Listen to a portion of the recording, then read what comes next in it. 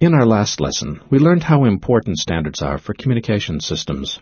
In order for systems to communicate over a network, they must follow certain rules or protocols.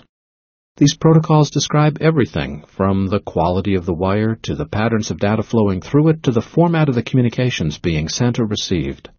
The OSI model is a blueprint for all the different standards that make up networking communication. The open part of Open Systems Interconnection refers to the fact that devices that comply with the model are based on open standards. Hardware and software manufacturers create products according to these standards so their products interoperate and intercommunicate with one another. This open systems concept is critical to all communication devices and protocols.